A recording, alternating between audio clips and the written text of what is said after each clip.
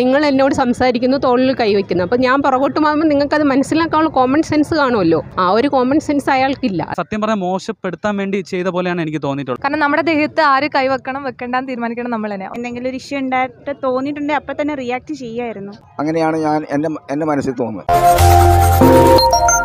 എനിക്ക് ആ ഇഷ്യൂ കണ്ടപ്പം സുരേഷ് ഗോപിക്ക് ഒട്ടും മെച്യൂരിറ്റി ഇല്ല എന്നാണ് തോന്നിയത്. പല മീഡിയയിലും കണ്ടതുപോലെ അയാൾ ഭരത്ചന്ദ്രൻ ഐ പി എസിൽ നിന്നും ഇതുവരെ പുറത്തോട്ട് വന്നിട്ടില്ല.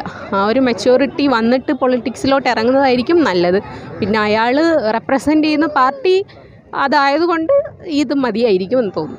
അല്ല ഒരു പ്രാവശ്യം തട്ട് തോളിൽ കൈവച്ചു ആ ലേഡി പുറകോട്ട് മാറി. അപ്പം അത് ഇപ്പം നിങ്ങൾ എന്നോട് സംസാരിക്കുന്നു തോളിൽ കൈവയ്ക്കുന്നു അപ്പം ഞാൻ പുറകോട്ട് മാറുമ്പോൾ നിങ്ങൾക്കത് മനസ്സിലാക്കാനുള്ള കോമൺ സെൻസ് കാണുമല്ലോ. ആ ഒരു കോമൺ സെൻസ് അയാൾക്കില്ല. അതായത് എനിക്ക് കംഫർട്ട് സോൺ അല്ലാത്തത് കൊണ്ടാണ് ഞാൻ പുറകോട്ട് മാറിയത്. അപ്പോൾ അത് അത് അയാൾക്ക് മനസ്സിലാക്കാൻ ഇത്രയും പ്രായമായിട്ടും അല്ലെങ്കിൽ അച്ഛന്റെ വാത്സല്യം എന്നൊക്കെ പറയുന്നു അയാളുടെ മക്കളാണെങ്കിൽ പോലും വൈഫാണെങ്കിൽ പോലും അവരിങ്ങനെ പബ്ലിക് പ്ലേസിൽ നിൽക്കുമ്പോൾ വേറൊരാൾ എന്ന് തോളിൽ കൈയിട്ട് കഴിഞ്ഞാൽ എന്തായിരിക്കും റെസ്പോൺസ് അത് മാത്രം ആലോചിച്ചാൽ മതി. അല്ല ഞാൻ പറഞ്ഞത് മനസ്സിലായില്ലേ? യോജിക്കുന്നുണ്ടോ ഇല്ലേ എന്ന് മനസ്സിലായില്ലേ? എന്താണ്? തെറ്റാണ്. തെറ്റ് ആദ്യ പ്രാവശ്യം ചെയ്തു. പിന്നെ രണ്ട് ഇന്നലെ റിപ്പോർട്ടർ ചാനലിലും റിപ്പോർട്ടർ അടുത്ത് മാറി എന്ന് പറഞ്ഞു. പിന്നെ നിങ്ങളെപ്പോലുള്ള ആണുങ്ങളത് കേട്ടിട്ട് റിയാക്ട് ചെയ്യാതെ നിന്നതാണ് ഏറ്റവും അയാളെക്കാളും ദേഷ്യം വരുന്നത്.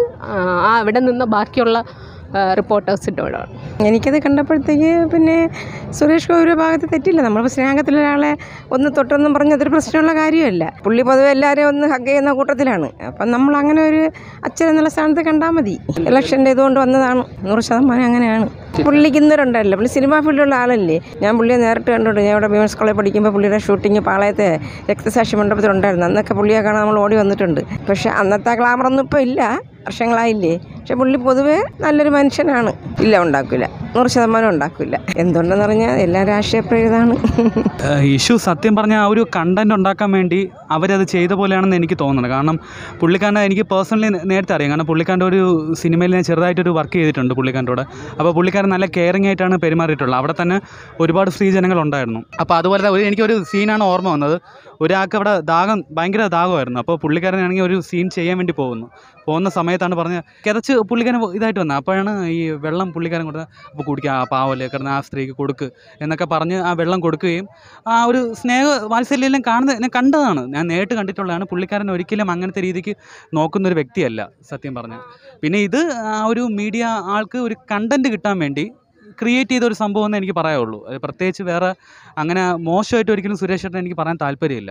ആസ് ആൻ ഒരു നല്ലൊരു നടനാണ് ഒരു നല്ലൊരു പൊളിറ്റീഷ്യനാണ് പുള്ളിക്കാരൻ രാഷ്ട്രീയത്തിൽ അത്ര ഇതായിട്ട് വരുന്നില്ലെങ്കിലും പക്ഷേ എന്തോ ഇത് എന്താ പറയുക സത്യം പറഞ്ഞാൽ മോശപ്പെടുത്താൻ വേണ്ടി ചെയ്ത പോലെയാണ് എനിക്ക് തോന്നിയിട്ടുള്ളത്.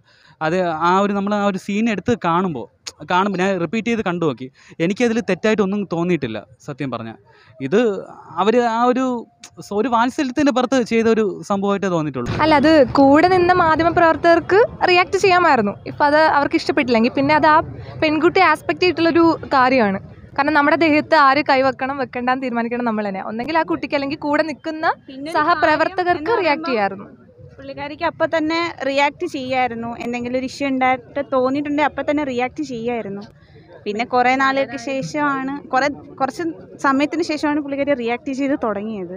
രാഷ്ട്രീയത്തിന്റെ കാര്യമാണോ എന്ന് ചോദിച്ചാൽ മേ ബി ആയിരിക്കാം നമുക്ക് അങ്ങനെ ഒരു അഭിപ്രായത്തിൽ പറയാൻ പറ്റത്തില്ല. ഒരു പാർട്ടിപരമായിട്ട് ഒരിക്കലും ഇതിനെ പറയാൻ നമുക്ക് നമുക്ക് രാഷ്ട്രീയം ബേസിക്കലി ഇല്ല. മനുഷ്യന്റെ കാര്യം വെച്ചിട്ടാണ് പറഞ്ഞത്. ഒരു കോമൺ ടോക്ക് എന്നുള്ള ഒരു കോമൺ സെൻസ് ലോജിക്കൽ തിങ് വെച്ചിട്ടാണ് പറഞ്ഞത്. ആ തീർച്ചയായിട്ടും ഉണ്ട് തീർച്ചയായിട്ടും ഉണ്ട്. കാരണം പുള്ളിക്കാരന്റെ ഒരു വീഡിയോ ഉണ്ടായിരുന്നു. മകൾ മരിച്ചപ്പോൾ. അത് ഭയങ്കര ഇമോഷണൽ ആയിട്ടുള്ളൊരു വീഡിയോ ആയിരുന്നു. പുള്ളിക്കാരൻ അത് ഫേസ്ബുക്ക് പേജിൽ വന്ന് മാപ്പ് പറഞ്ഞൊരു സംഭവം ഉണ്ടായിരുന്നു. സോ അത് അക്സെപ്റ്റ് ചെയ്യാൻ പുള്ളിക്കാരെ ആസ്പെക്ട് ചെയ്ത് നിൽക്കും. പുള്ളിക്കാരി ആ താങ്ക് എന്താ സോറി അക്സെപ്റ്റ് ചെയ്യുന്നതും ഒരാളുടെ ഇൻഡിവിജ്വാലിറ്റി ആ പുള്ളിക്കാരിക്ക് ഓക്കെ ആണെങ്കിൽ ഓക്കെ ഫൈൻ പുള്ളിക്കാരിക്ക് സോറി അക്സെപ്റ്റ് ചെയ്യാൻ പറ്റുമെങ്കിൽ പറഞ്ഞല്ലോ ഓക്കെ ആണ് കുഴപ്പമൊന്നും ഉള്ളതായിട്ട് തോന്നുന്നില്ല. ഞങ്ങൾക്ക് അങ്ങനെ പ്രത്യേകിച്ച് പൊളിറ്റിക്സ് ഒന്നുമില്ല അദ്ദേഹം ഒരു കുഞ്ഞിന്റെ അല്ലെങ്കിൽ ഒരു ഒരു സഹോദരിയുടെ സ്ഥാനത്ത് നിന്ന് കണ്ടിട്ട് തന്നെയാണ് തൊട്ടത്. അല്ലാതെ വേറെ രീതിയിലൊന്നും ഞാൻ അത് ഞാൻ അതിനെ പ്രതികരിക്കുന്നില്ല. ഞാൻ അതിനെ കാണുന്നുമില്ല.